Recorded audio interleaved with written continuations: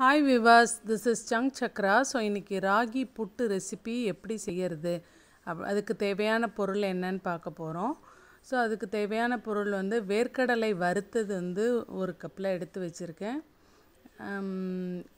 எள் வந்து ஒரு கப்பில் எடுத்துக்கணும் வறுத்து எடுத்துக்கணும். வெல்லம் வந்து ஒரு கப்பில் துருவி எடுத்துக்கணும். தேங்காய் ஒரு மூடி வந்து திரு திருகி அதை எடுத்து வச்சுருக்கணும். ராகி மாவு ஒரு கப்பு உப்பு தேவையான அளவு. ஸோ இந்த பொருள்லாம் எடுத்து வச்சுக்கணும். முதல்ல ஒரு பாத்திர ஒரு கிளாஸில் வந்து உப்பு தண்ணியில் கொஞ்சோண்டு தண்ணியில் ஆட் பண்ணி மிக்ஸ் பண்ணுறோம் ஸோ ராகி மாவை வந்து ஒரு கப்பில் போட்டுட்டு அந்த உப்பு தண்ணியை வந்து லைட்டாக தெளித்து தெளித்து பிசையணும். நான் வந்து கையில் ஒரு கையில் ஃபோன் வச்சுட்டு இன்னொரு கையில் வந்து பிசைகிறதுனால எனக்கு கையால் தெளிக்க முடியல. நீங்கள் தெளிச்சுக்கோங்க. அப்போ தான் வந்து கெட்டி இல்லாமல் வந்து மாவு வரும். ஸோ இந்த மாதிரி டூ டு த்ரீ டைம்ஸ் கொஞ்சம் கொஞ்சமாக தெளித்து நல்லா வந்து மிக்ஸ் பண்ணி விட்டு அந்த மாவை இது பண்ணால் ஈரப்பதம் வந்துடும் ஃபுல்லாக அந்த ஈரம் மாவில். ஸோ ஃபுல்லாக வந்து ஈரம் அந்த உப்பு சால்ட்டு கலந்த மாவை என்ன பண்ணும்? இட்லி தட்டில் வச்சு அதில் வந்து ஒரு துணியை போட்டு மூடி வேக வைக்கணும். ஒரு அஞ்சு நிமிஷம் வெந்தால் போதும். ஸோ மாவு வெந் வெந்துடணும் மூடி வச்சு வேக வைக்கிறோம்.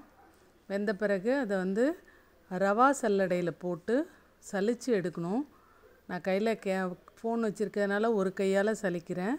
இன்கேஸ் உங்களுக்கு வந்து கெட்டியாக இருந்தால் இந்த மாதிரி கையால் தேய்ச்சி விட்டு இது பண்ணால் வந்து சா எல்லாமே வந்து கொட்டிடும். ஸோ இப்போது ராகி மாவு சலிச்சாச்சு.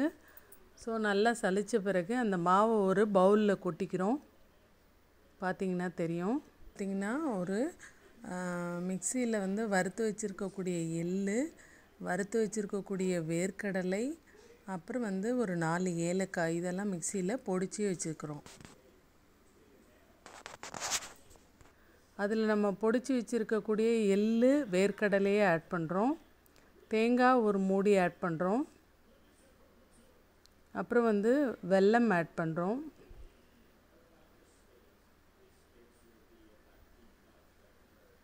ஸோ இதெல்லாம் மிக்ஸ் பண்ணி வச்சுட்டு சுவையான ராகி புட்டு ரெடி இந்த ரெசிபி உங்களுக்கு பிடிச்சிருந்தா லைக் பண்ணுங்கள் ஷேர் பண்ணுங்கள் கமெண்ட் பண்ணுங்கள் தேங்க்யூ